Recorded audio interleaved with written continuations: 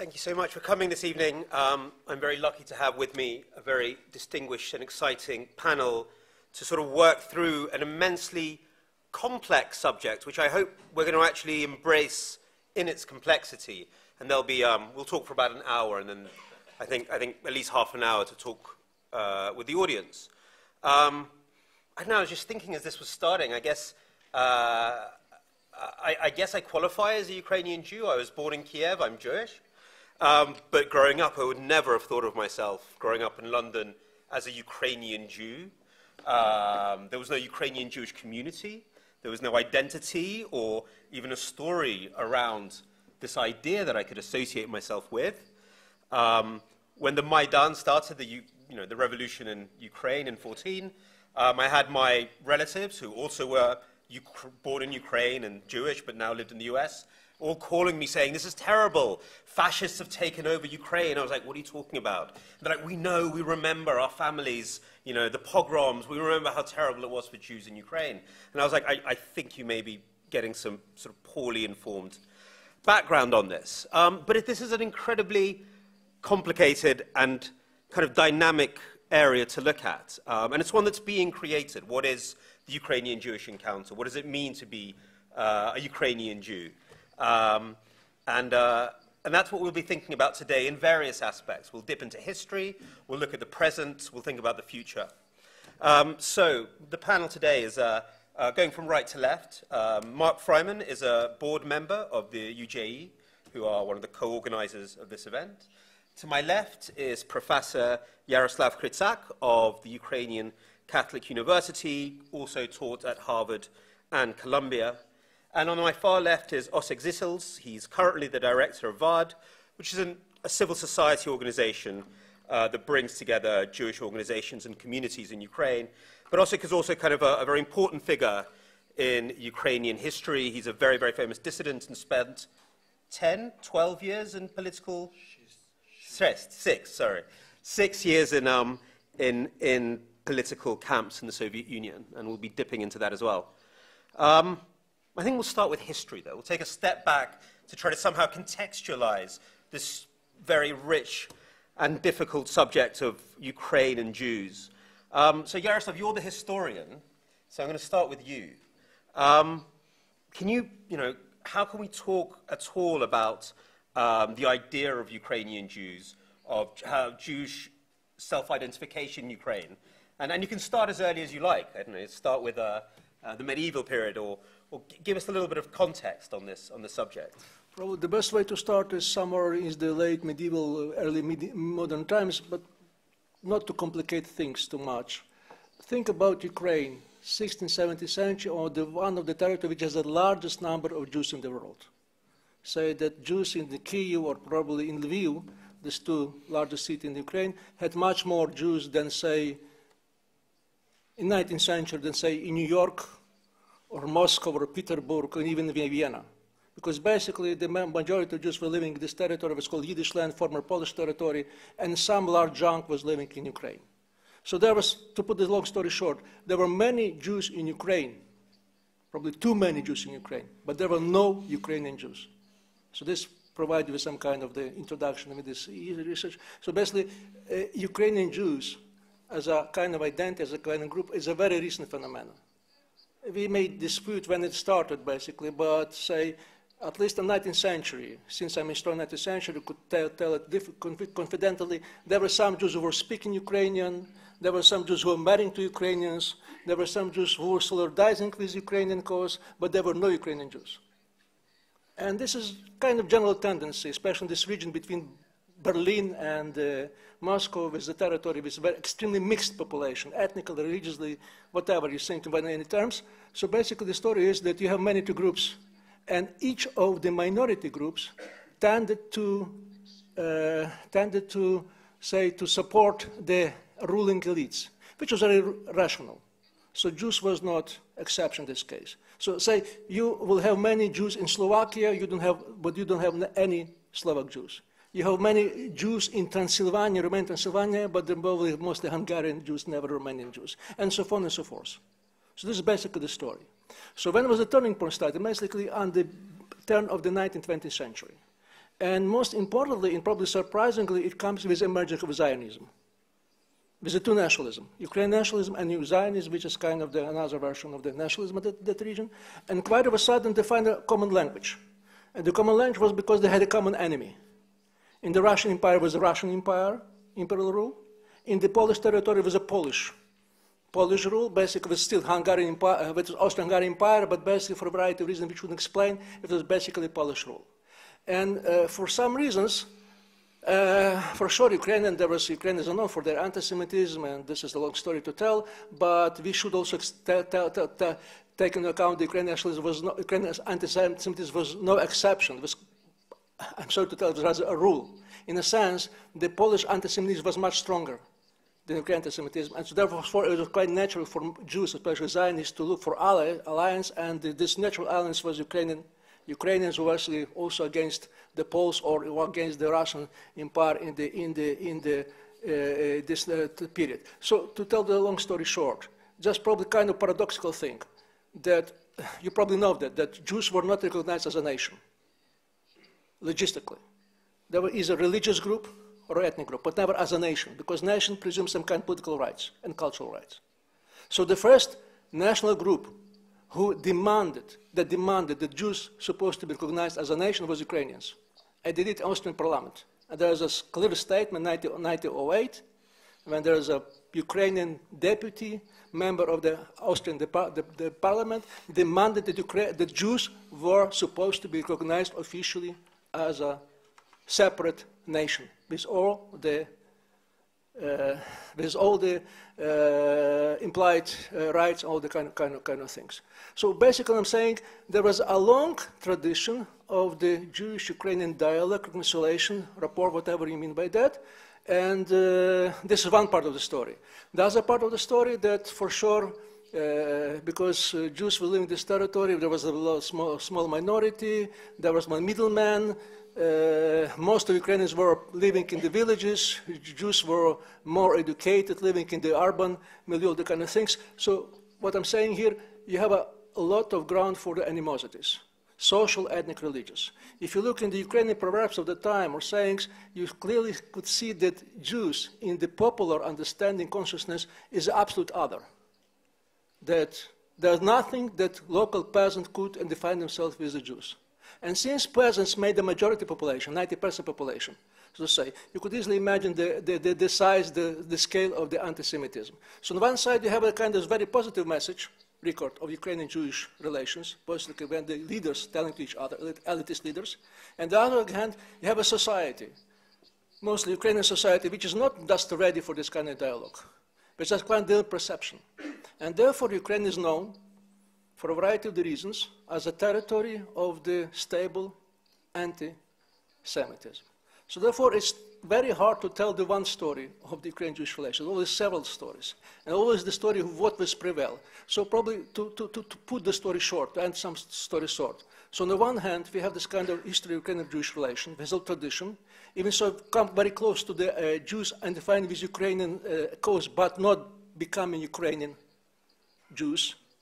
On the other hand, we have a long record of the anti-Jewish violence, anti-Semitism, starting with Khmelnytsky, ending with the Second World War, and this is very painful, long record.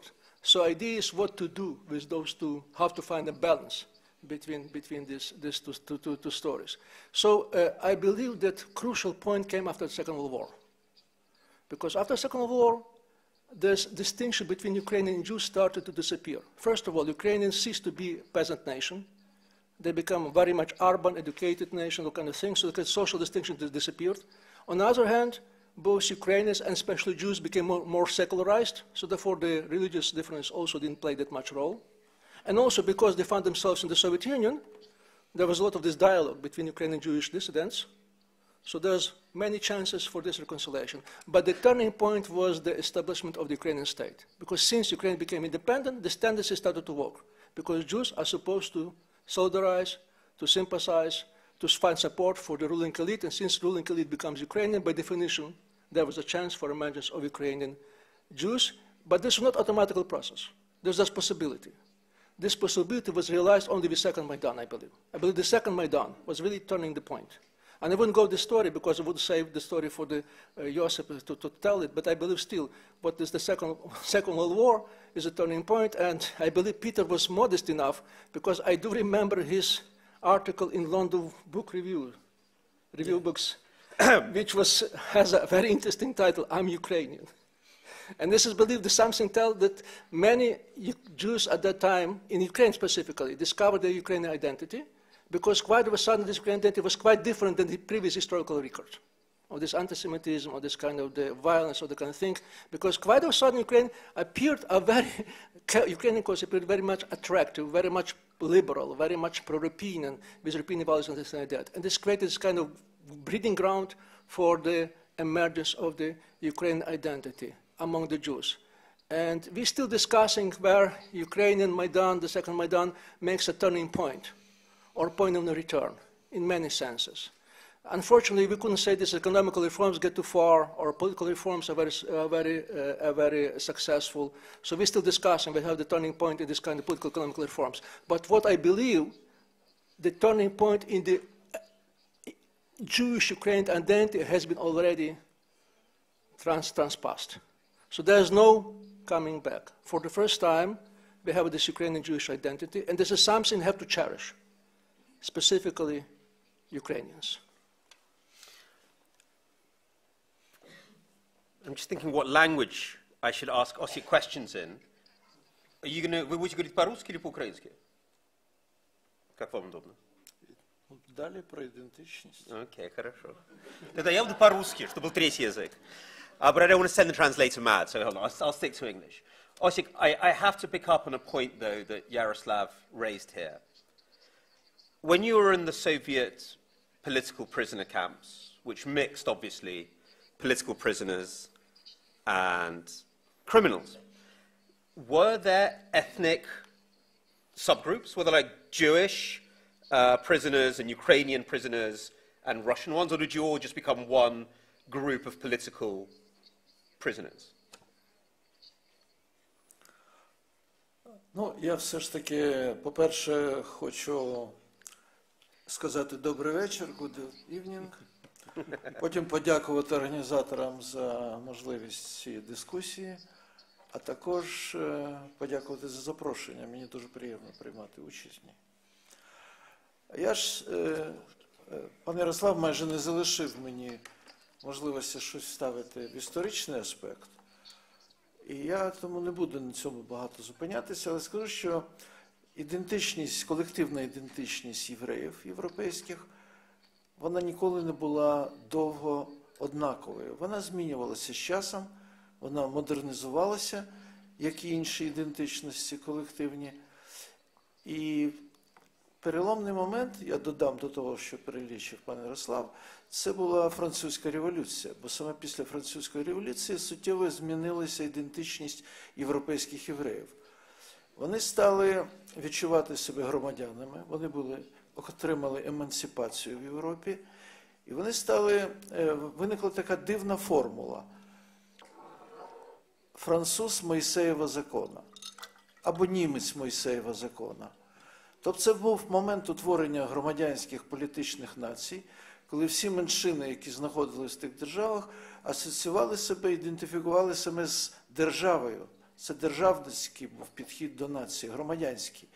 Але оскільки конфесійність, релігійність була різна, то це була ознака відмінності. І це було ідентифікуючий такий маркер. І це продовжувалося досить довго, і наприкінці 19 століття сталося те, що сказав пан Ярослав. Виникла нова ідентичність сіоністська, яка полягала в тому, що євреї вже не хотіли асимілюватися, окультурюватися, а вони хотіли створити свою державу, щоб продовжувати бути там євреями.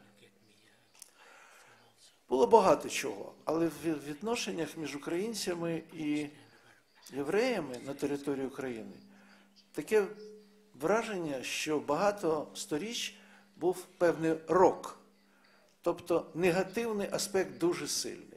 Крім всіх зв'язків, крім спільної праці, культурних зв'язків і таке інше, були страшні події 17 століття, 18 століття, 17 це воїни Богдана Хмельницького, в 18-му це Коліївщина, в 19-му погроми наприкінці в Російській імперії, потім громадянська війна з її величезними вбивствами євреїв. І було таке враження не дослідника, а пересічних громадян, що всі спроби українських, українців створити свою державу, е, реалізувати соціальний процес чи національний пов'язані з дуже великими проблемами трагічними для євреїв.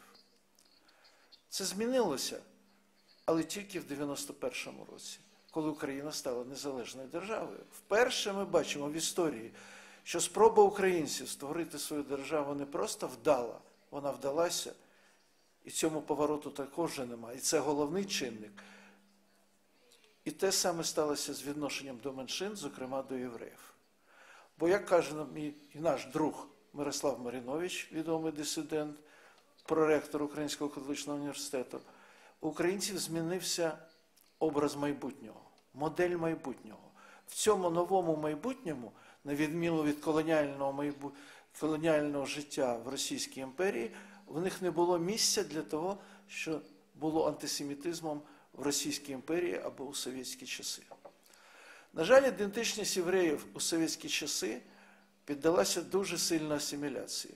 Але ми повинні враховувати, що перш ніж приступити до асиміляції потужної, до наступу на релігію, до наступу на етнічні відмінності, совєтська влада або знищила всіх, хто їй опирався, зокрема і євреїв, які були проти совєтської влади, а всіх тих, хто не вона не знищила, вона викинула за кордон в еміграцію.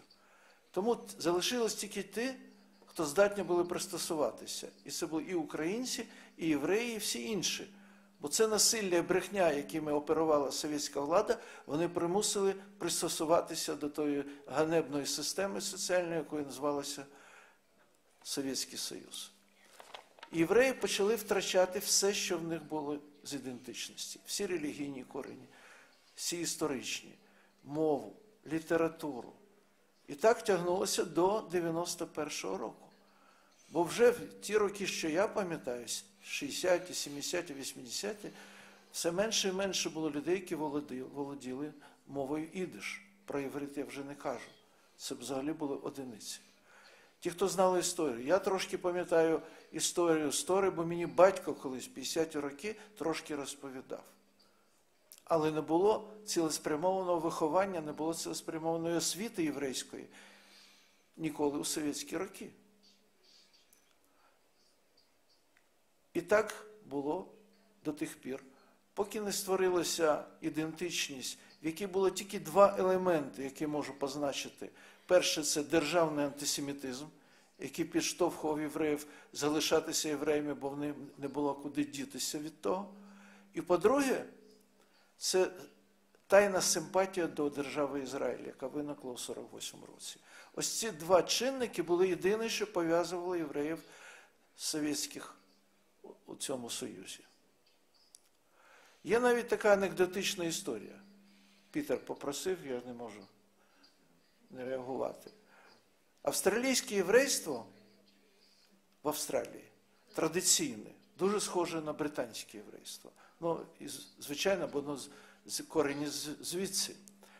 Воно останні 30 років дивляться на хвилі еміграції з усього світу в Австралію, єврейської еміграції. І вони виділяють три групи євреїв. Дві з них вони не сприймають як євреїв взагалі, а одну кажуть, так, це щось таке, що нам схоже на нас.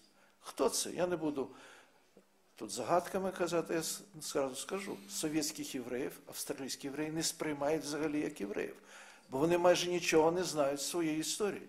Я кажу про совєтські часи до 91-го року. Друге, вони не сприймають як євреїв Ізраїль, бо це нова ідентичність ізраїльська яка дуже відрізняється від ідентичності британських євреїв, від ідентичності американських євреїв. Є навіть соціологічне дослідження в 90-ті роки Лібмана і Коїна, яке показує, що це дві різних ідентичності, два різних народи, хоч і ті, і ті вважають себе євреями. І нарешті третє це євреї Південної Африки, які попадали в Австралію. Їх вони вважають. Таким чином, Вчені сьогодні бачать в світі три типи ідентичності єврейської. Це західноєвропейська, до якої відноситься і американська, канадська, єврейська і австралійська ідентичності, східноєвропейська, Східна Європа і країни колишнього Совєтського Союзу, і ізраїльська. І тільки в 91-му році у нас з'явилася можливість навчати своїх дітей. Ми почали відкривати школи, ми почали займатися вихованням, ми почали повертати традицію, відбудовувати синагоги, і це все робилося вже в незалежній Україні. Я не можу сказати, що держава нам дуже допомагала, але вона не заважала. Все, на що нам вистачала своя енергія, я приймав участь ще з 80-х років, як тільки звільнився в відродженні, в відновленні єврейського життя. Ми зробили все, на що нас вистачало енергії, грошей і професіоналізму. І нам ніхто не заважає це робити досі. Але для мене поворотними точками є майдани. Чому? Насправді вони не є поворотними. Справа в тому, що ідентичність змінюється еволюційно, поступово. Блаженніший Любомир Гузар, кардинал греко-католицький, сказав, дайте людям вирости у свободі. З 91-го року і українці, і меншини, і, зокрема, євреї в Україні живуть в свободі, і вони формують самі своє життя. І це дуже важливий чинник. І саме це повернуло. Ті накопичення цих нових рис ідентичності дало те, що євреї перейняли участь у Майдані 2004 року, але небагато їх було. У 2013 році вже було їх більше. Таким чином, в мене народилася формула певна, що совєтські євреї, євреї України у проміжний етап 90-ті роки і українські євреї, яких тепер стає все більше і більше. Їх питома вага з часом збільшується українських євреїв. І це і є модернізація цієї політичної нації. Що їх об'єднує з, з українцями? Вони разом будують державу, разом будують політичну націю. І ця спільна робота є тим, що їх пов'язує. Але одночасно в суспільстві є і совєтські євреї, і євреї України, які ще не визначилися, і українські євреї. І в мене більш близькі, я більш близький до українських, кримських татар, які разом з нами відбудовують Україну, демократію, свободу, ніж з тими євреями, які залишилися совєтські. Хоч ми з ними одні по етнічних ознаках і навіть по релігійних. Ось така дивна трансформація єврейської ідентичності у Україні. Дякую. That, Mark, I wanted to say something that Otik touched on there before we get back into inside Ukraine is, is the question of diaspora through that uh, charming anecdote about Australian Jews. But um, what, why are there no Ukrainian Jews in the diaspora? I mean, Russian Jews, yes. Uh, you know, what, what is, or even Soviet Jews? You know, I have relatives in Brighton Beach, and it's, you know, there's a clear conception of Soviet Jew, Jews there. Well, it's exactly uh, what uh, Professor Hrytsak uh, was talking about. Uh, it's only recently that the idea of um, Ukrainian polity actually became concrete in the world so that there is a state to which people can uh, owe allegiance. Uh, prior to the establishment of a real Ukrainian state, because the Ukrainian SSSR um, is uh, uh, not, um, not really a, a state, it's uh, a figment on paper. there was no polity. There were Ukrainians in the sense of people who professed an ethnic Ukrainian nationality, but prior to the 20th century, they often called themselves Ruthenes or Rusyns rather than Ukrainians. And there was no way that um, Jewish people would identify themselves as belonging to that nationality. And um, as they emigrated to a diaspora, they would certainly not identify themselves uh, with, uh, uh with that ethnic uh, group. So uh, there was no real way um, to, to establish that sort of national identity. Um, um, and if, if people did remember their homeland, uh, in terms of Ukrainians, as uh, you mentioned in your introduction, it would be to remember the pogroms, or at least to remember a story about the pogroms. Um, and in terms of remembering who they are, um, I always say if you go to North America, and I'm sure it's uh, the case uh, in Britain as well, and you ask uh, Jewish people where their family comes from, the answer will be Poland or Russia. And the reality is that over half of the people whom you ask that question really have ancestors who come from the territory of modern day Ukraine. They either come from Galicia or they come from uh, the Pale of Settlement. Uh, Galicia was um, uh, assimilated into Poland, and uh, the Pale of Settlement was ruled by, uh, uh, by Russia until after the, the Second World War. So that's where the imagination of the diaspora still exists. And of course, uh, our history is, is quite unique because uh, for uh, linguistic reasons, we're still back uh, 500 years ago uh, with the Commonwealth of Poland and Lithuania. So people are uh, either Galitzianer or they're Litvaks. So, so, so hold on, hold on, hold on. You're telling me JFS, JW3, New London Synagogue, all these institutions where people think they're Russian or Polish Jews, and they're actually Ukrainian Jews. Most of actually, mo most of North London are Ukrainian Jews. Uh, if you're looking at, uh, I'm not talking about St. John's Wood. That's different. Yeah, that's yeah.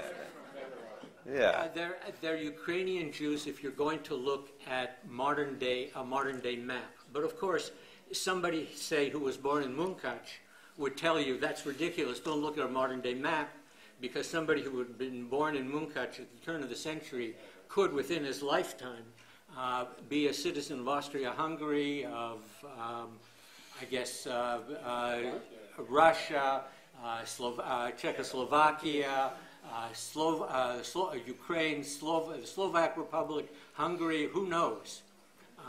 you would know better, but at least five or six different countries. the map keeps moving and people have to keep up with it. And uh, the Jews have to learn each language uh, in succession uh, in order to keep up with it.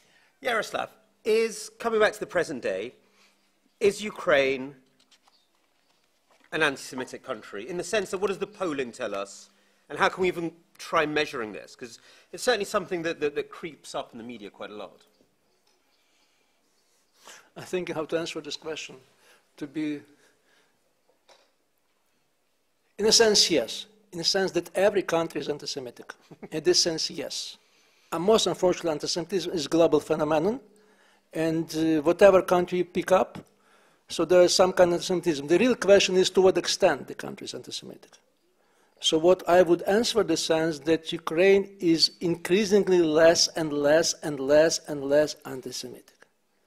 Uh, there are some uh, uh, objective measures like a Bogardus scale, if you know what I mean. There's the scale that social, social, social scientists use that measures the distance to different ethnic groups, various ethnic groups, and also some groups like homosexuals, because they're even much more alienated than the other group. So let me put this way, that on this scale, Jews are, has the same positions like Poles and Canadians which means neither positive nor negative, rather positive than negative. The most negative groups are Arabs, as strange as it sounds. Are there any Arabs in Ukraine? It's exactly Arabs, because it, Arabs is mixed with Muslims. And since Muslims very much uh, uh, taken as a point of the uh, anti-terrorism, uh, uh, put it differently, Uh, let me finish this way. So the most uh, hated group or alienated group are Romas, uh, Arabs, and homosexuals. And the most closest group are the Ukrainian-speaking Ukrainians and Russian-speaking Ukrainians and Belarusians. That's it. So the you, you, Jews are some sometime in the middle. If also have some kind of comparison with other countries, uh, uh, uh, surprising as it is, as it sounds, as it looks, Ukraine has a very positive tendency in a sense that you can feel much closer to Jews than, say, Poland, than Poland and Russia and other countries. You could, you could Google Pew. This is the famous, uh, famous international sociological firm who did this study recently, which shows that actually Ukraine anti-Semitism presents Ukraine in a very much attractive, attractive light. It doesn't mean to say there's no anti-Semitism in Ukraine. There's, there is anti-Semitism in Ukraine, but then locate who is this anti-Semites and what kind of rhetoric they use and for what purposes they use. So to say. But basically, I'm saying so, if I may end somewhere, if Ukraine would be better off country, if Ukraine would have a better standards of life, more stability, and there is no war, I believe that many Jews would consider this country as a potential place to live because they're much more secure and much more comfortable than living in other countries. So this probably will be the, the shortest answer to this question. Osik, I think for the first time, or in recent memory, we see the entry of Jewish political figures very actively into the politics of the country. Is, is the Jewish, is you know, the Prime Minister is Jewish. How is that treated inside the political discourse by journalists, by the political establishment? Um, are they treated as Jewish politicians, or how, how is this framed?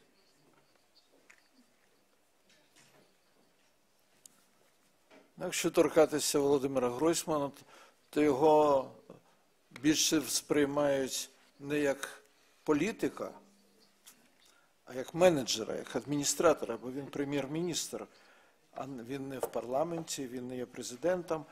Але я хочу про інше. Єдине, можливо, з небагатьох питань, де я відчуваю себе майже професіоналом, це якраз питання моніторингу і аналізу антисемітизму. Бо я займаюся цим 30 років, будую різні мережі ще з часів Совєтського Союзу, які досліджують це явище на тій території. І я знаю також ситуацію в світі, я навіть знаю ситуацію в Великій Британії.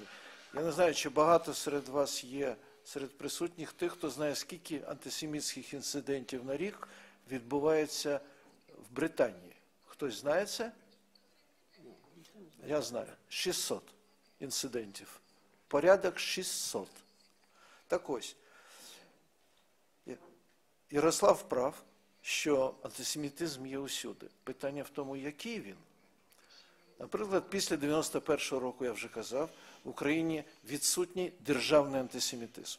Нема жодного елементу державної політики, яка би прямо була спрямована проти євреїв. Те визначення, яке в Європі сприйняли під антисемітизмом, обов'язково передбачає присутність або в інциденті, в висловах, обов'язково ненависті до євреїв. Так ось треба розподіляти це і розуміти, що є міжнародна класифікація. Вона фіксує певні прояви, є європейські інституції, які цим займаються. І в Західній Європі найбільше це Німеччина. Там на рік відбувається близько двох тисяч антисемітських інцидентів. Що називається антисемітським інцидентом? Це або напад, фізичний напад на ґрунті антисемітизму, ненависті, або акт вандалізму проти єврейської власності, або надписи на стінах графіті, свастики і таке інше. На єврейських об'єктах, можливо, на приватних або на общинах, на синагогах і таке інше. Так ось, це є інциденти. Є ще, крім hate crimes, є ще hate speech, вислови. Вони фіксуються окремо. І дуже непрофесійно, коли це звалюється все в одну купу і рахується разом. Треба розподіляти і порівнювати окремі складові. Так ось, в Україні за останні роки, а ми їх фіксуємо, ці параметри дуже ретельно. На- нас працює один з найкращих в Східній Європі фахівців по моніторингу і аналізу прояв антисемітизму. В'ячеслав Ліхачов. Кожен рік він видає репорт, ось за 17 рік, і вже готовий за 18 рік. І ми знаємо, скільки інцидентів в Україні, скільки випадків вандалізму антисемітського в Україні. І вони, повірте, набагато менше, ніж в Західній Європі, навіть менше, ніж в Чехії, бо в Чехії їх близько 200 за рік. В Україні ось в останньому році, в 18-му, як і в 17-му, не було жодного нападу на ґрунті антисемітизму. Жодного фізичного нападу. З усією відповідальністю я вам про це говорю. Жодний експерт в світі, ані з Канади, ані з Америки, не може додати до нашого моніторингу жодного інцидента. Це дуже професійно, відповідальний і чесний моніторинг. Ми не хочемо применшати, ми не хочемо перебільшувати прояви антисемітизму в Україні. Що стосується вандалізму, у нас в минулому році було 12 випадків антисемітського вандалізму. Таким чином, загалом це все одно 12, бо не було нападів. 12 і 600. 12 і 800 у Франції, 12 і 2000 в Німеччині, 12 і 200 в Чехії. Ось картина антисемітизму в Україні. Він є, але він дуже низького рівня.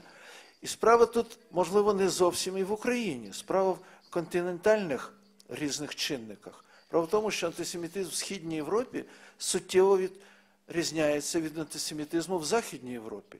В Західній Європі присутні два потужних чинника, які визначають антисемітизм тут.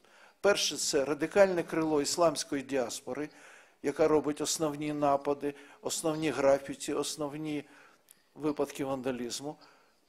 Але друге це цікавіше, другий чинник. Це дуже модно в колах лівої інтелігенції ліберальної гіпертрофія порушень прав людини. З цього виростає антиізраїльська налаштованість цих лівих кругов, і ви знаєте, як ліві навіть в Британії ліберисти зараз налаштовані проти Ізраїлю. І через таку витіснення, через таку сублімацію антиізраїльська переходить в антисемітську. Ми, євреї, сприймемо однаково. Для нас антиізраїльська позиція це антисемітська. І, і тут у нас двох думок нема навколо цього.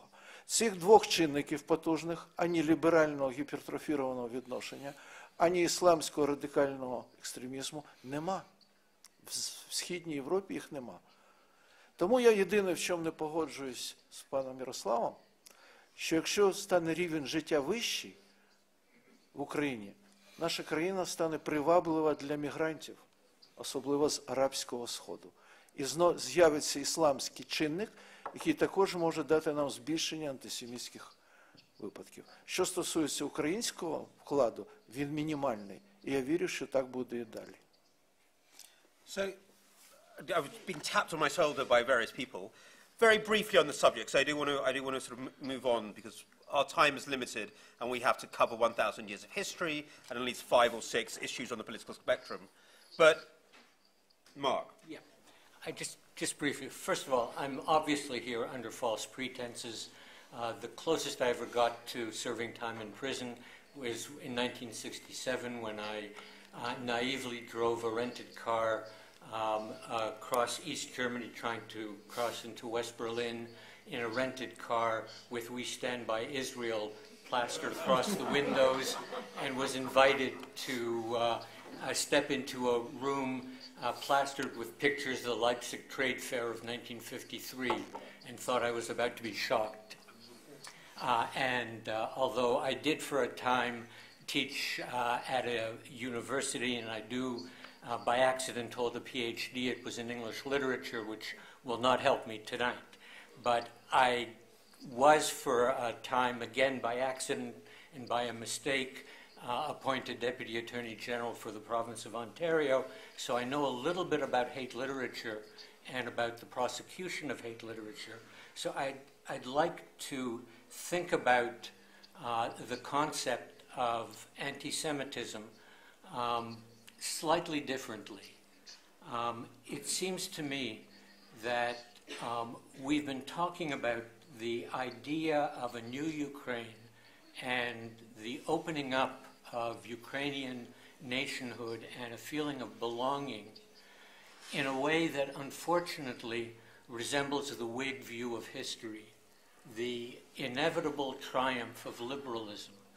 And Jews traditionally have been attracted to a liberal opening and the idea of a pluralistic state, uh, a meritocracy where everyone is accepted on the basis of uh, their talents, and not on the basis of who they are. That's one view, and that's our view of the new Ukraine, why UJE is uh, in existence, to bring about a dialogue between Ukrainians and Jews based on a realistic view of their history and uh, a view of a new Ukraine. That's one view. There's another view that is based on the very ethnic um, uh, definitions that in the past, as Professor Hrytsak said, excluded Jews from the definition of Ukraine. just as it excluded Jews from the definition of who's a Czech, the definition of who's a Hungarian, the definition of who's a Bulgarian, uh, all through that region.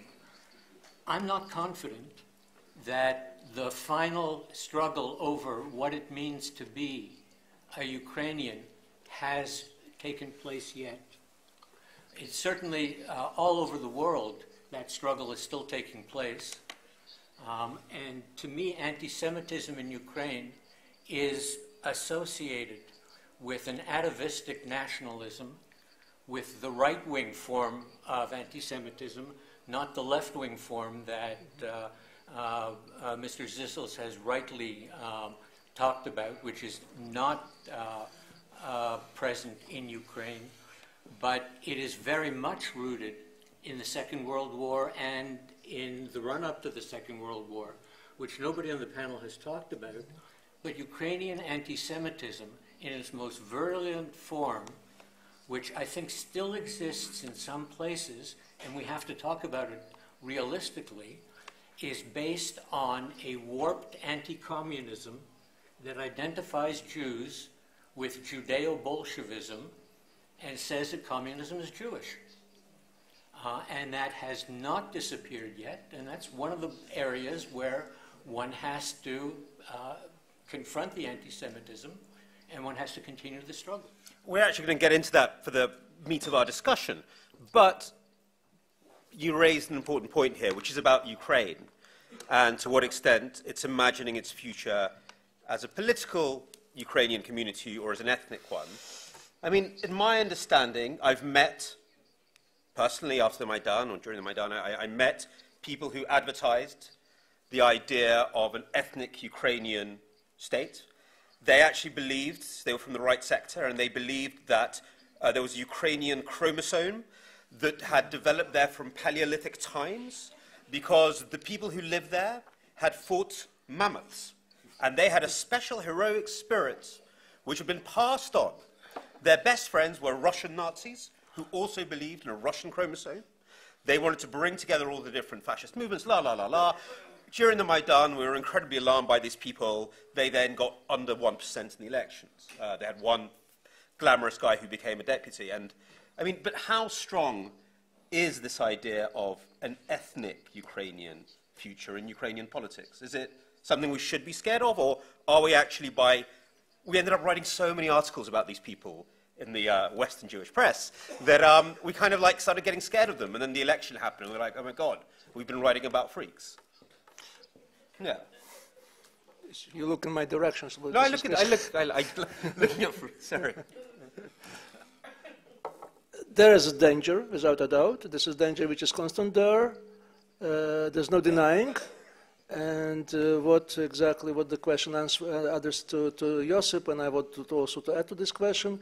Uh, there is recently a new uh, tema, a new topic, whatever you say, in Ukrainian public discourse, that Ukraine is uh, ruled by, by Jews. They even call it worse, Jewish yoke over Ukraine. And this is directly related to Poroshenko, the president, Groisman, the prime minister, several ministers who are Jewish origins, uh, or, or they presume to be of Jewish origin, and also including Yulia Tymoshenko, who also believed to be a Jew. Typical. Oh, typical Jew of Armenian origin. so the, the, the, story goes, the story goes, and which is uh, went around by the Ukrainian nationalists of this exactly of this milieu which Peter was referring that actually Ukraine is never ruled by the Jews, and it's kind of Semitic, the Semitic plot, uh, uh, say, uh, uh, made by, by Soros, all the kind, kind, kind of things. So there's the new topics there. And the irony is that all the main candidates for next, presidential elections, we have this in March, they're all either Jews or presumed to be Jews.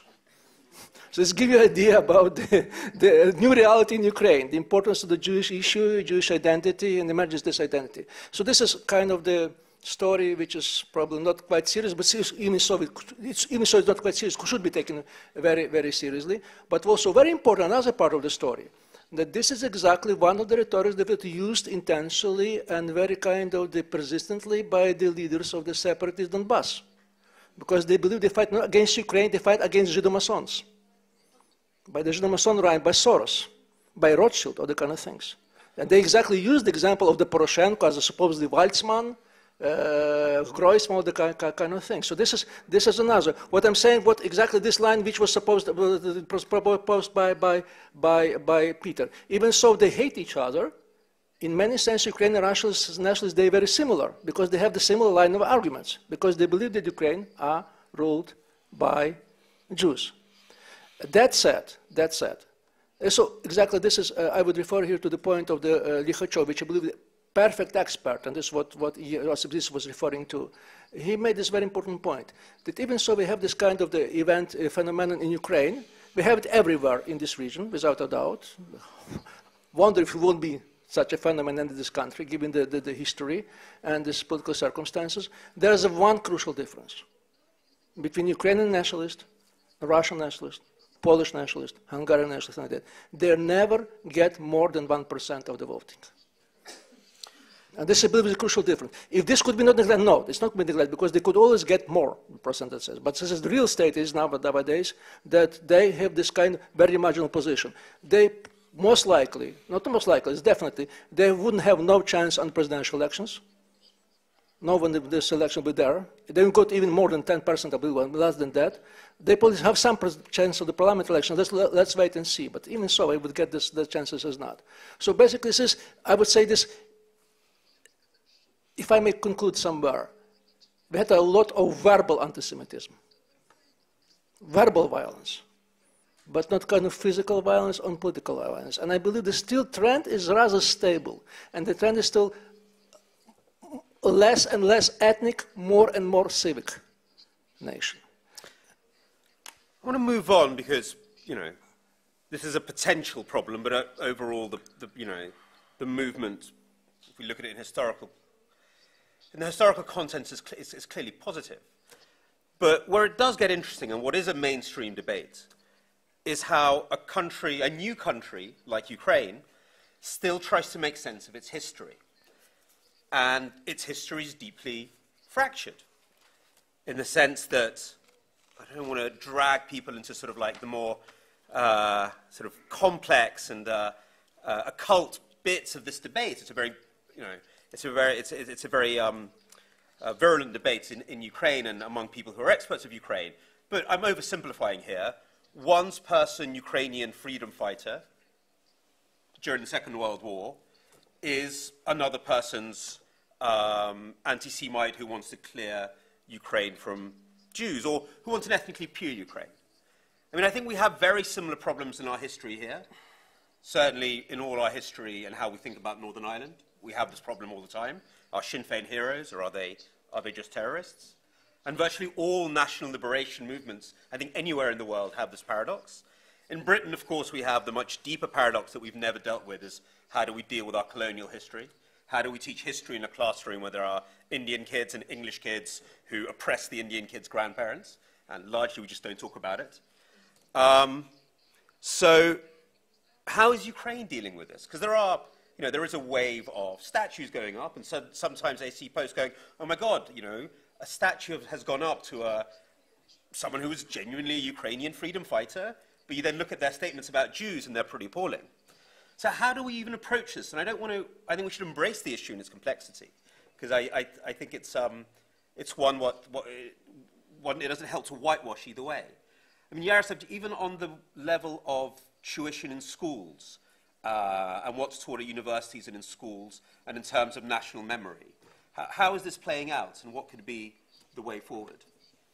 Uh, situation is hardly unique you could hardly find a country which is not divided on many issues of its own history.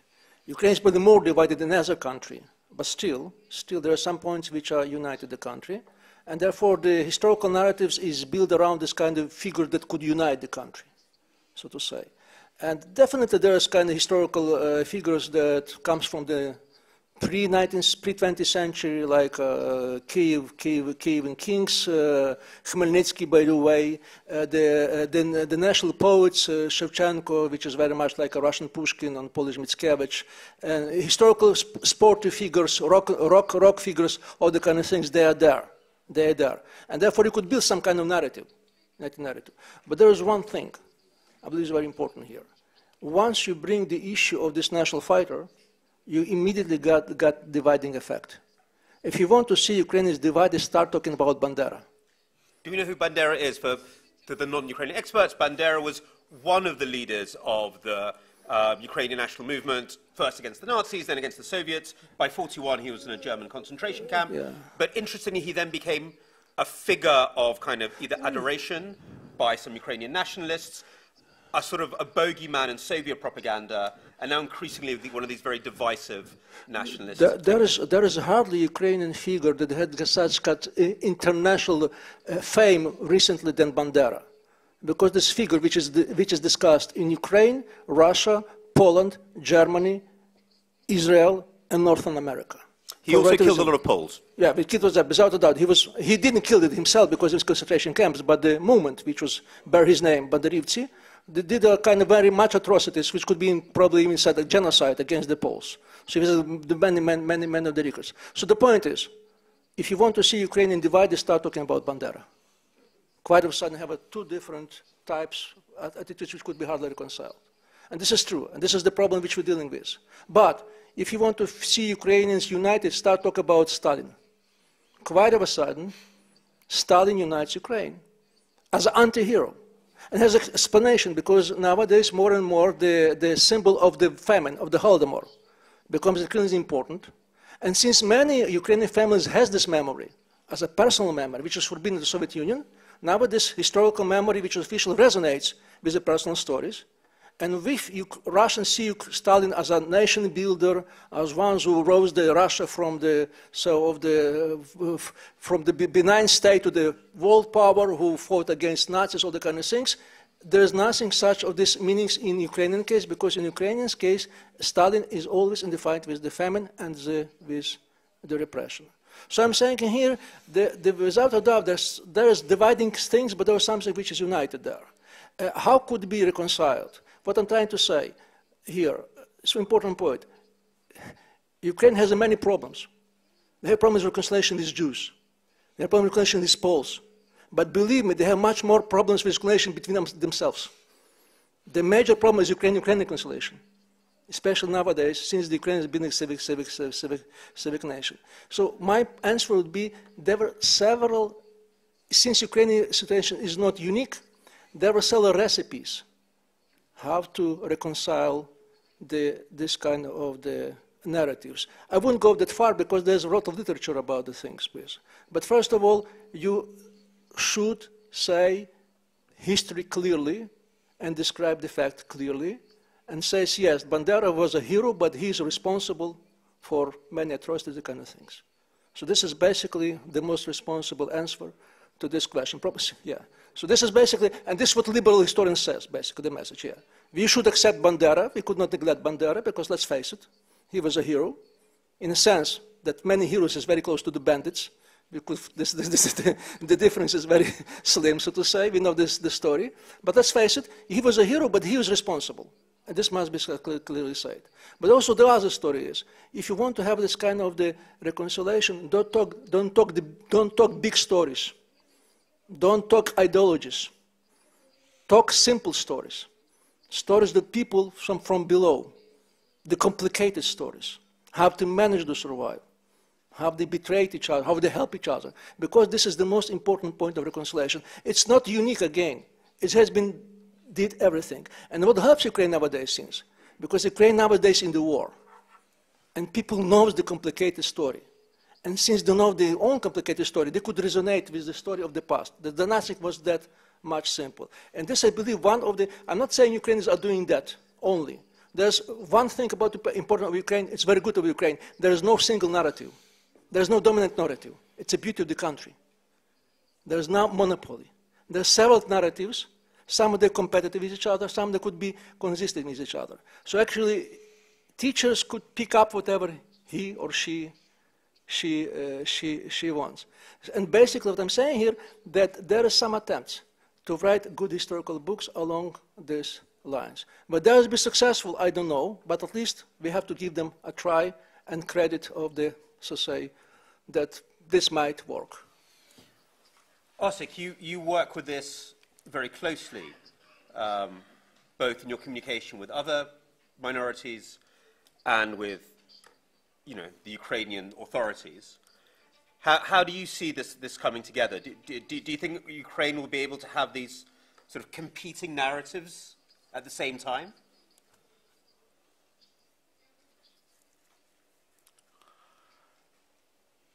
Про реальний антисемітизм я вже розповідав. Але крім реального, є міфічний. Є багато міфів і легенд, які сьогодні передусім об'єднуються російською пропагандою. І крім того, що сказав пан Ярослав про одну з, одне з розгалуджень тої пропаганди російської, що владу в, Єв... в Україні захопили євреї, що це масонська, масонський заколот, і це загорожує. Але ця пропаганда спрямована на, молоде, на молоду генерацію. Але є і інше розгалудження, більш потужне, що в Україні до влади прийшли фашисти. Ультранаціоналісти, і вони погрожують всьому і демократії, і євреям, і всім іншим національним меншинам. І треба розділяти міфи від реальності. Героїзація колабораціоністів або героїзація катів це один з міфів, який майже не має під собою ніякої реальності. Для мене тут, взагалі, як для українського єврея, дуже просто. Істота, яка зі зброєю в руках грабує, гвалтує, вбиває, це є злочинець. І нема терміну давнини. Навіть через 80 років такого треба судити, бо він застосовував зброю проти мирного населення. В той же час людина, яка зі зброєю в руках захищає свою родину, свій дім, своє село, свою державу від іноземних окупантів, це є захисник і скоріше герой. І це треба розділяти. Я кажу так, що ані Бендера, ані Шухевич не є моїми власними героями, бо я єврей, і в мене є родова пам'ять. Але я розумію, чому для половини українців вони герої. Вони загинули за незалежність України. І цього вже достатньо. Я не думаю, що є люди в Україні половини, які прославляють цих героїв за те, що вони нібито вбивали євреїв. Чи погано до них взагалі про це ніхто не думає. Вони загинули за Україну і цього достатньо. І не герої поєднують, я згоден з паном Ярославом, нас поєднує з українцями і з іншими наше спільне майбутнє, де є демократія, де є незалежність від Російської нової імперії, де нема антисемітизму, нема ксенофобії і є стійкий економічний розвиток. Це нас об'єднує з усіма і меншинами, і з більшістю українців, хоча Україна розділена і не по, не по національній ознаці, а скоріше між Заходом і Сходом, між Євразією і Європою.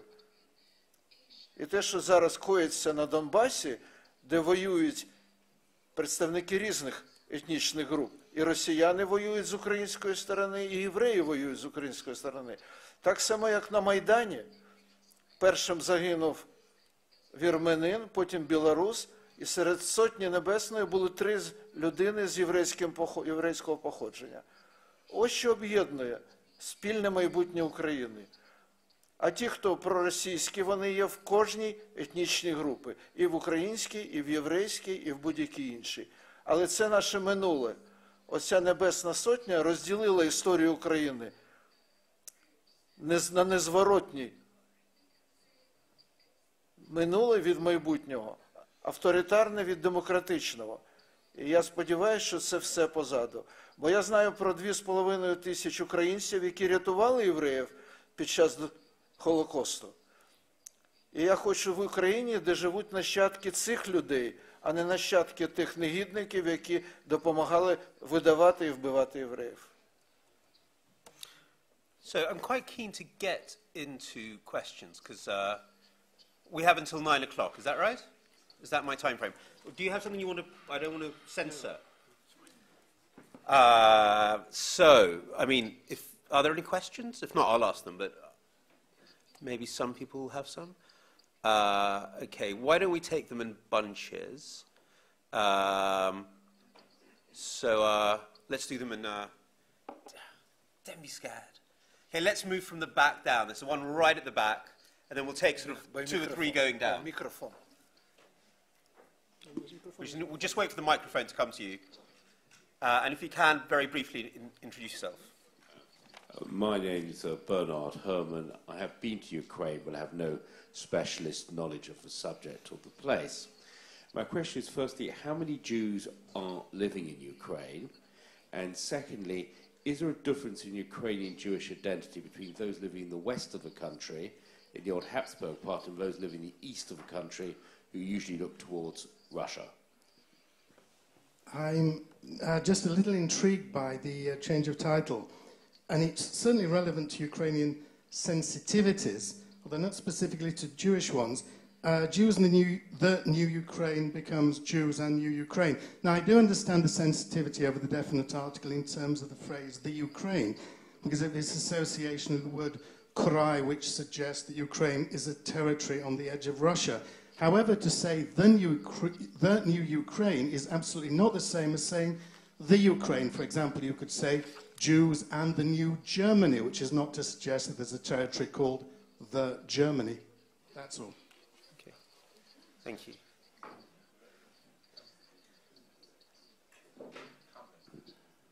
Good, good evening. My name's Mike Crabb.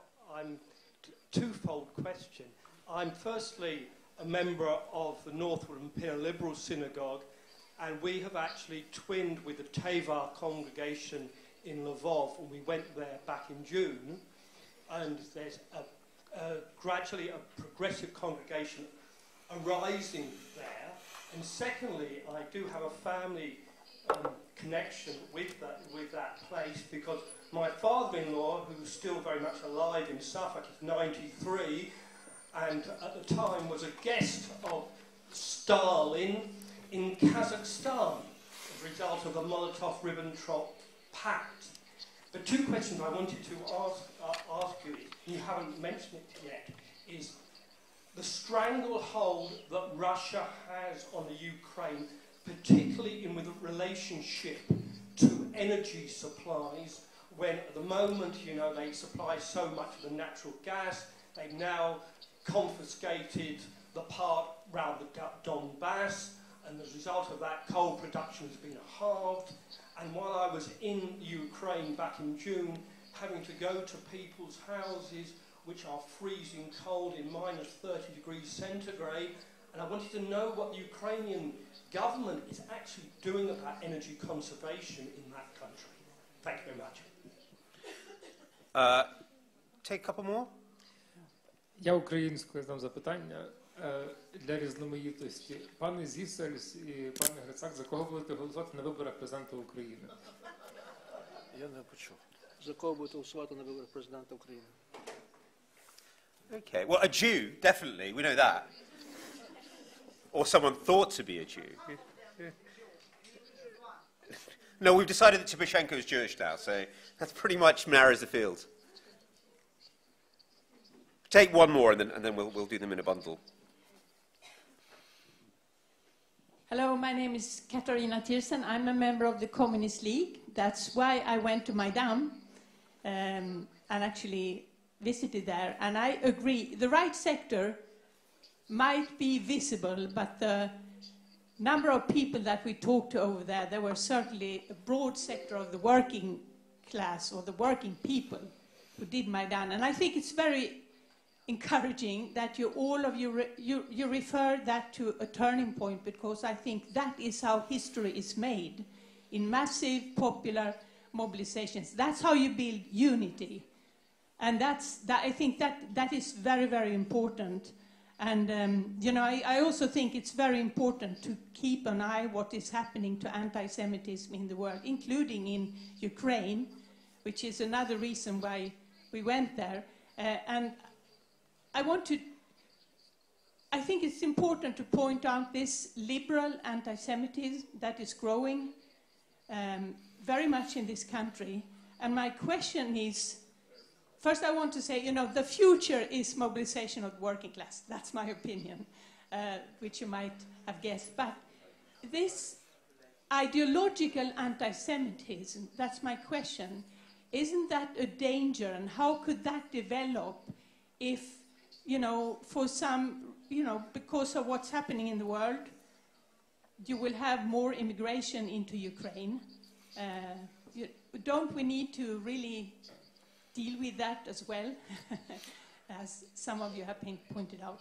Thank you. Okay, so let's, let's start tackling those. Um, how many Jews are there in Ukraine, actually? That's a, really, that's a question for Osik, I think.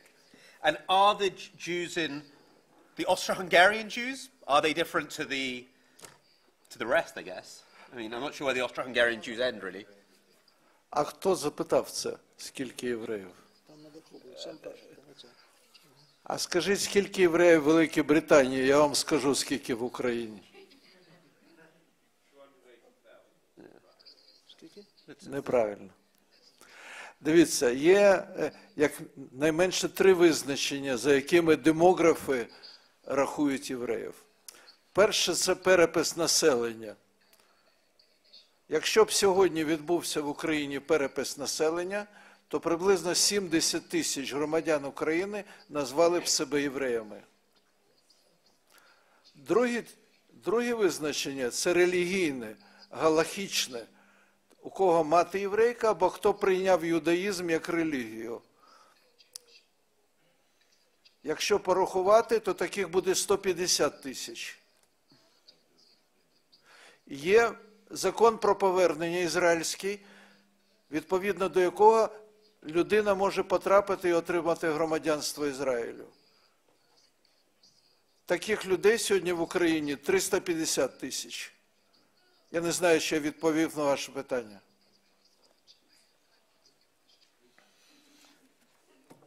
And there was a second part to the question. Да. Is the um, Ще є uh, різниця в ідентичності. yeah, is Jewish identity different Да. in the West and the East? Да. Я, я спробував е, говорити, коли говорив про ідентичність, що ідентичність меншини національної дуже залежить від ідентичності оточуючого соціуму. Певною мірою меншина слідує за розвитком ідентичності великого соціуму. І оскільки у нас на Західній Україні і українці трохи інші, ніж на Східній, то відповідно і євреї також відрізняються. Євреї Західної України, вони, можна сказати, якщо спростити, вони більше українські євреї, ніж східні.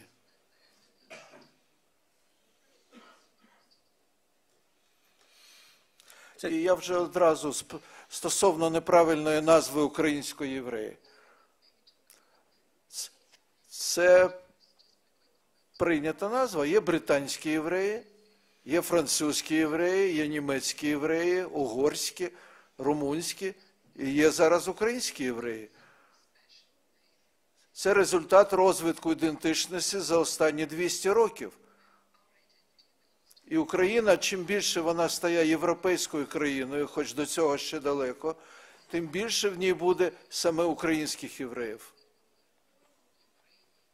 And also, while, while we have you, who's going who's to win the presidential elections? Ну, я не політолог, але для мене не це важливо. Для мене, для мене важливо, що хто б не прийшов президенти України, ну, з першої п'ятірки кандидатів, я впевнених, це моє суб'єктивне переконання, ніхто вже не поверне Україну назад до Російської імперії нової.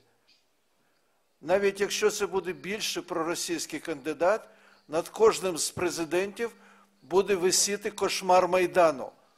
Бо двічі за останні 15 років спроби повернути Україну на схід стикалися з новою українською ідентичністю, яка виводила мільйони людей на Майдани.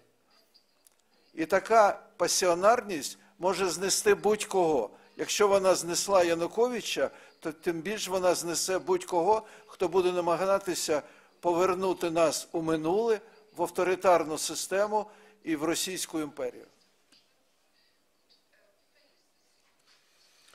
Um, Mark, this question of a new ideological anti-Semitism emerging. Um, we've, you, you mentioned the idea of sort of a, an ethnic nationalist one, which would obviously have a potential very strong anti-Semitic turn.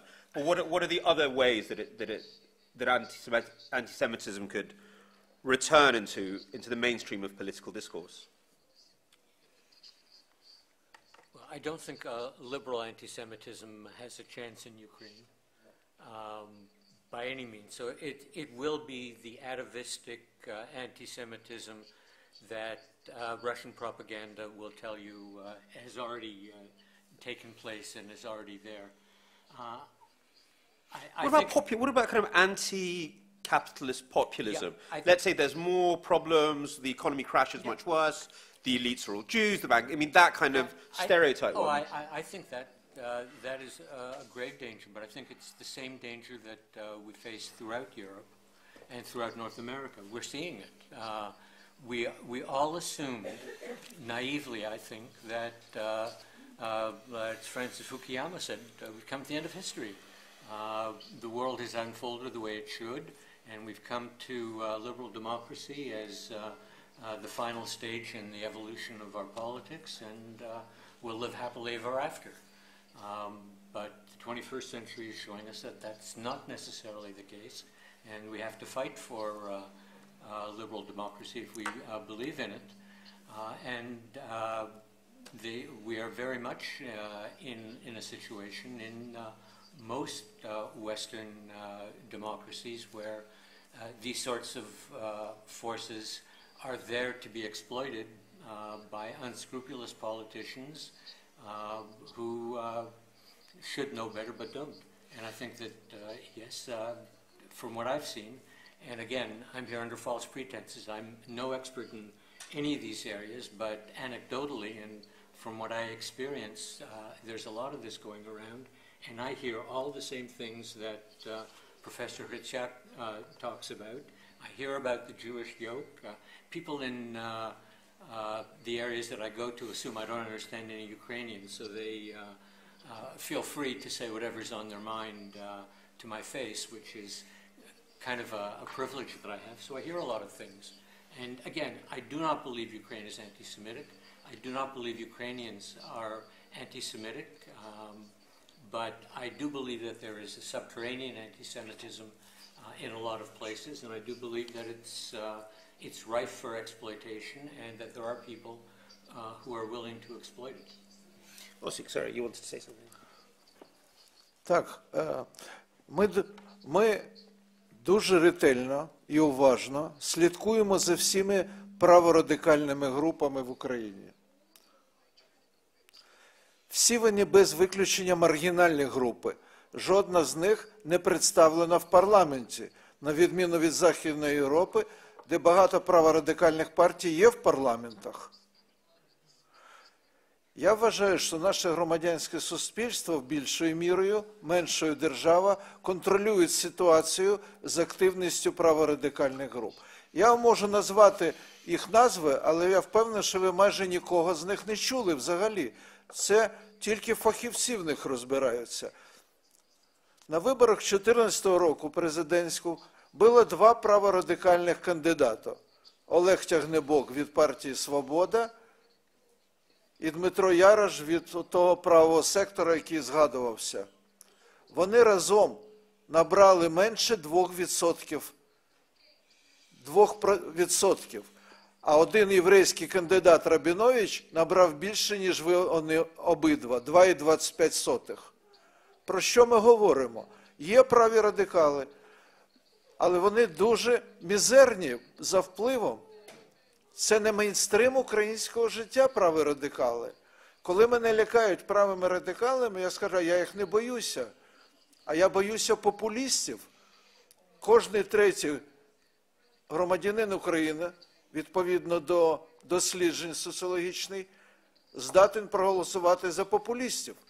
І це більша загроза для України, ніж праві радикали. Тим більше, що праві радикали, можливо, тимчасово, але зосереджені зараз домінантно на одному ворогові, на Росії.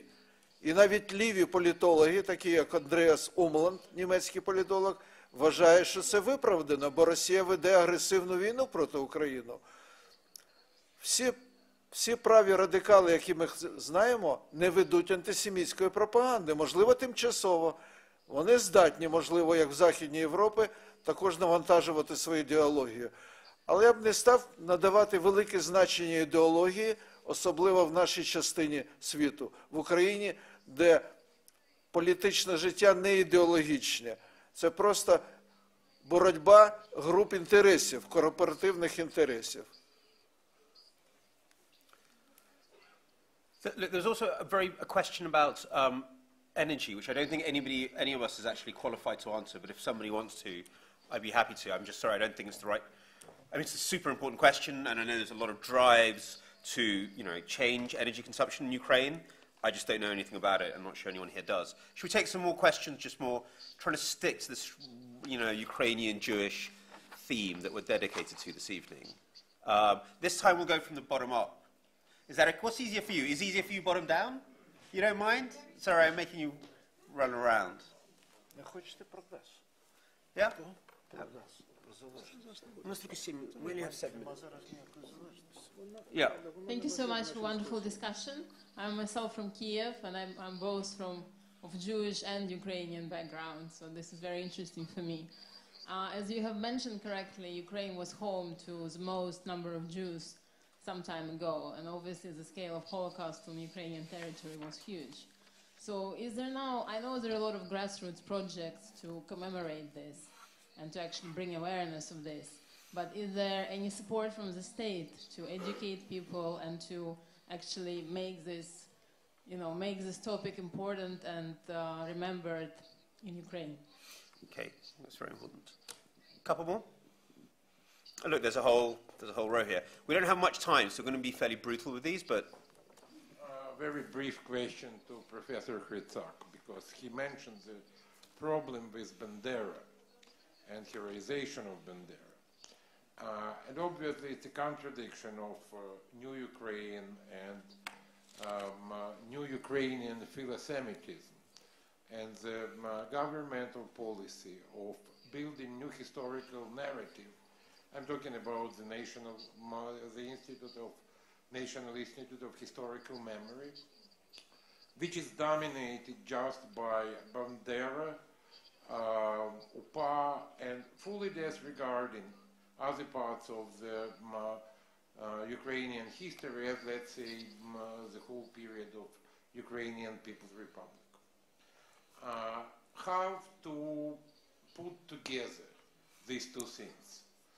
Uh, new approach to Jewry, heroization of Bandera, state support of such heroization, the whole process which really reminding the experience of Croatia during the days of uh, President Franjo Tudjman and um, uh, heroization of Ustasha as a part of the nation building. I could have thought of some other examples, but apart from Croatia. But okay, yeah. Um, I'm, uh, I know Ukraine quite well. I've been working there for uh, many, many years. Um, I find the current developments encouraging, but I find, on the other hand, that speaking about um, the extent of anti Semitism, only counting the percentages of um, uh, how many votes uh, um, anti Semitic or radical right uh, um, uh, candidates got is a bit too narrow. Um, there is something like a uh, hidden anti-Semitism, which is very, very spread in the country, and um, uh, which is part a bit part of the, sorry to say, part of the culture uh, even. Um, there is no taboo when it comes, for example, using um, anti-Semitic stereotypes. Um, they are everywhere, and you can hear them everywhere. Um, there is uh, a lot of um, things going on um, in, in, just in, in such discourses in, in the country. So I wonder, um, and there's the other thing is there's very little um, knowledge about Jews in Ukraine, and I find the biggest danger uh, is actually ignorance and a lack, lack of empathy a lack of empathy concerning uh, the suffering of Jews in one's own country. If one is not open, including uh, collaboration of one's own nation in the Holocaust, if that is not taught in schools, then you will never get really an understanding and you will never understand, you will never be, uh, feel this empathy for a nation which has been living in your own territory. So I think education uh, is, is the crucial thing which is needed now in Ukraine, a new way of speaking about these things and being open about them. Okay. We really don't have much time, so okay, let's take. I can unite those three questions into one question. Let's see if I can do that with the next three comments. They're all brilliant questions, by the way. I'm just going to have to. It's just a time thing, but I think there's some time afterwards you can come up and torture people and ask them questions. Yeah just to follow up quickly on this gentleman's point, if we allow ourselves to embrace Bandera as a national hero, how can we then deny Russians of the, their right to accept Stalin as their national hero? And I'm pretty sure Russians would use that for their uh, local propaganda and also elsewhere. So Stalin defeated Hitler, we don't care about the other stuff. That argument, well, which you hear most of the time. Yeah, he was terrible, but he saved us from Don't you think that's a bit of no, no. having a double standard? No, no, no, I'm just asking. That's, but that's, that's the argument you mean. Just, I just wanted to bring that out. Okay, that's a very good question, yes. Uh, yep.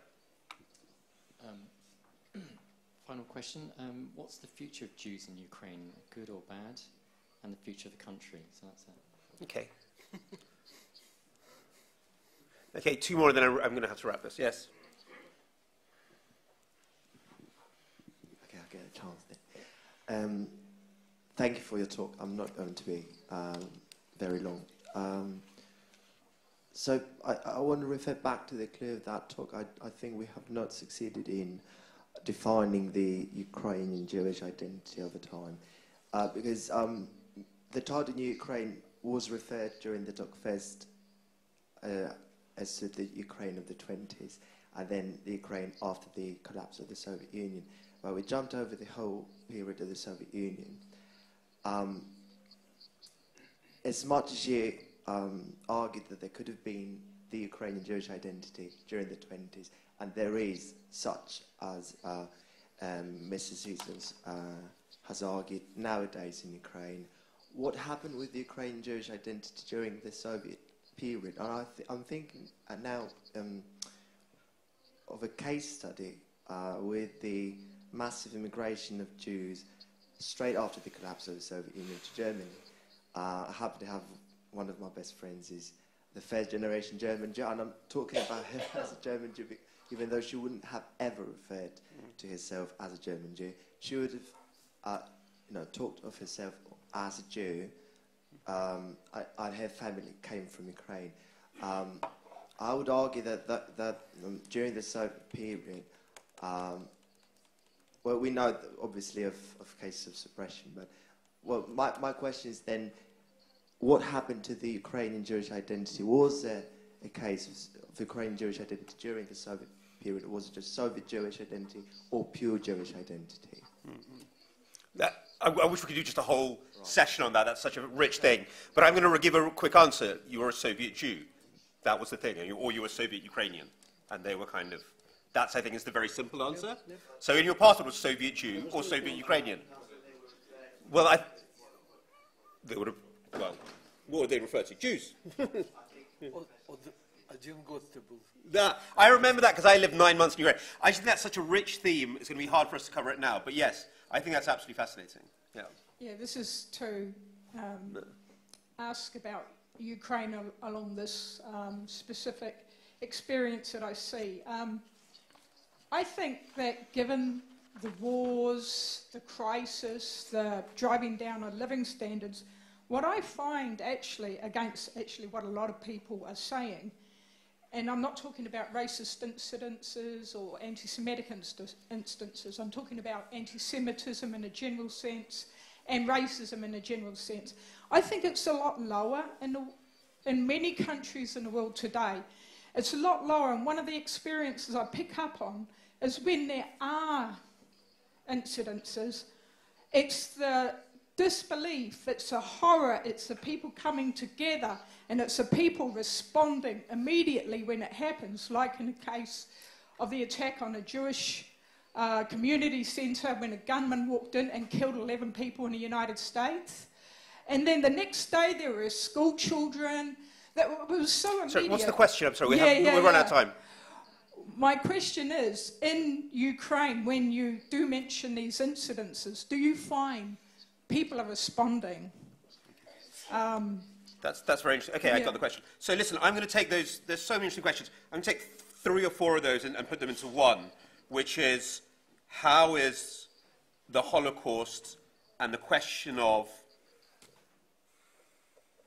local collaboration, I mean, Ukraine was occupied for virtually the whole of the Second World War, taught in schools, how is it faced up to? It's not just a, an issue in Ukraine, uh, it's an issue in, in all the countries that were caught in the middle uh, during, during the Second World War. Um, certainly a, a very big theme in the Baltic states.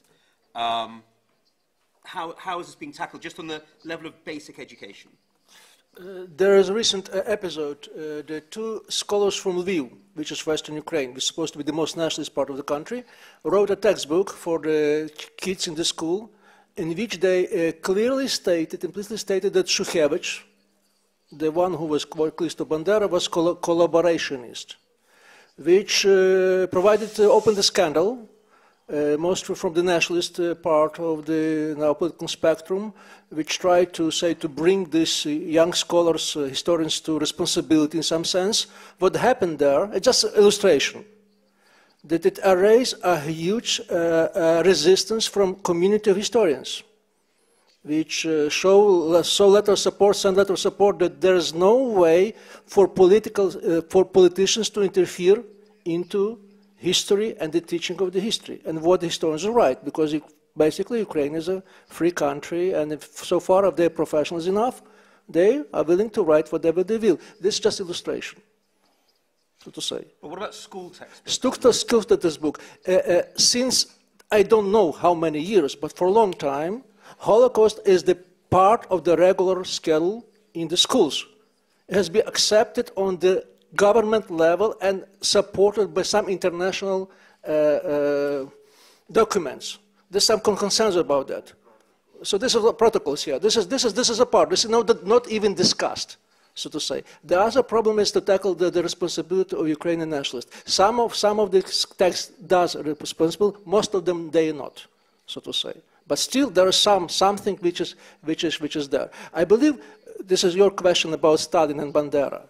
Uh, there is a presumption the history, historical memory and history is the same. It's not the same.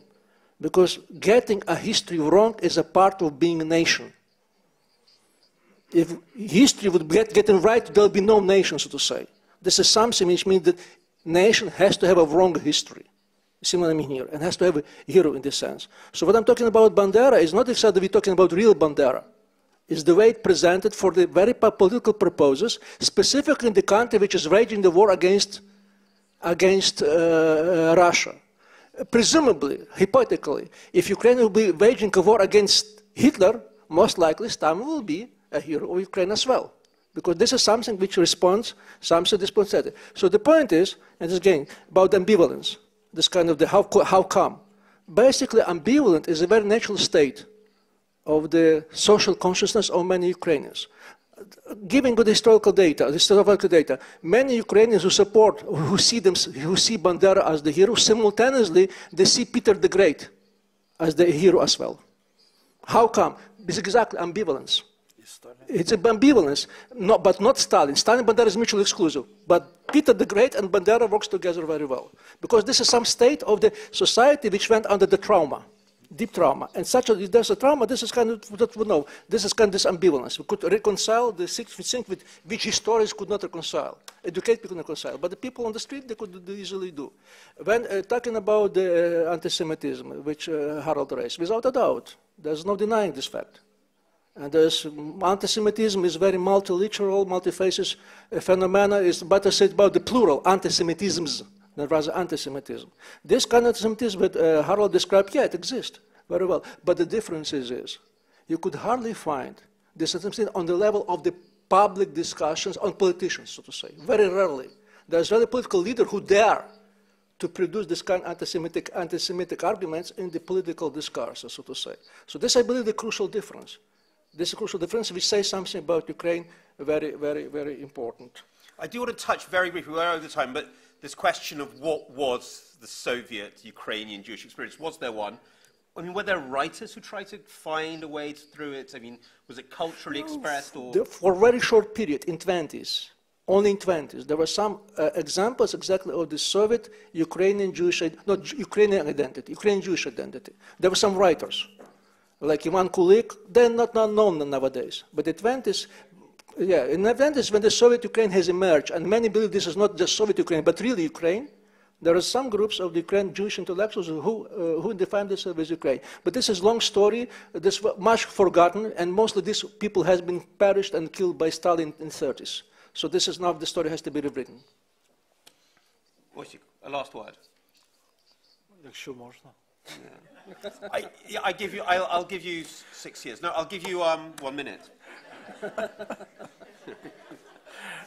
З приводу, ну, якщо хвилину, тоді це буде пунктір. Останні роки є державна підтримка політики пам'ятні, зокрема пам'яті жертв Голокосту. Нема часу розповідати про це, я можу годину говорити. А, ви кажете, що це дуже вузько рахувати відсотки. Але ми рахуємо не тільки відсотки. Я вам показав, ми рахуємо інциденти антисемітські, ми рахуємо соціологічні дослідження, просто не було часу їх наводити. Якщо ви потім підійдете, я вам покажу. Ми рахуємо не тільки скільки було націоналістів, які не пройшли в парламент. У нас євреїв піввідсотка населення, а в парламенті їх більше 10%. Або це також не показує вам, що у нас низький рівень антисемітизму. Це як віра, або вона є, або її нема. Я це вивчаю 30 років, я вас запевняю, що сьогодні в Україні набагато менше антисемітизму, чим було раніше. У нас пік приходив на 2007-2008 роки. У нас нема державного, і у нас набагато менше антисемітизму, ніж в Західній Європі. По колаборації дуже складне питання. Дуже. Я з Буковини. Буковина була у 40-му році захоплена Совєтським Союзом. Вона ніколи не була російською до цього. Ніколи. Це була анексія. І були українці, були румуни, були євреї, які співпрацювали з совєтською репресивною владою. Вони були колаборанти? Чи ви рахуєте тільки тих, хто співпрацював з німцями колаборантами? Ось це подвійна бухгалтерія. Якщо рахувати колаборантів, то всіх і тих, і тих. Або подумати, чи правильно ми їх позначаємо. Чи є майбутнє євреїв України? Якщо вона, як ми очікуємо, стане європейською країною колись, через багато років, то в них є таке майбутнє, яке є у євреїв всієї Європи. Якщо вона, не дай Боже, стане авторитарною країною, то, звичайно, там буде різко зменшуватися кількість через еміграцію. Ви знаєте, що останні роки еміграція з Франції в Ізраїль євреїв більше, ніж з Донбасу, де йде війна. Ось і все. Ідентичність українського єврея це наша дискусія з паном Ярославом.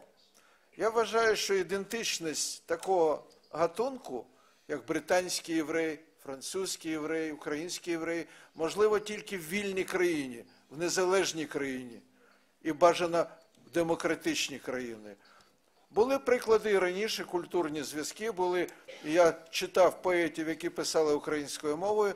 Але я кажу, коли я розділяю це совєтські євреї, євреї України і українські євреї, оцю ланцюжок, я маю на увазі євреїв українських після 91-го року. Вони себе ототожнюють з Україною, хоч вони ідентично євреї. Вони розмовляють українською мовою, знають українську літературу, знають українську історію. Вони разом з іншими будують майбутню Україну. Оце означає для мене українських євреїв.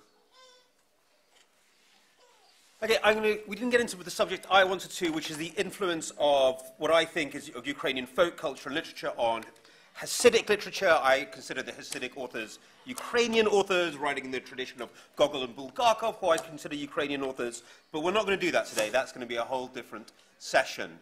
Um, okay, thank you so much, and um, thank you so much for staying later as well.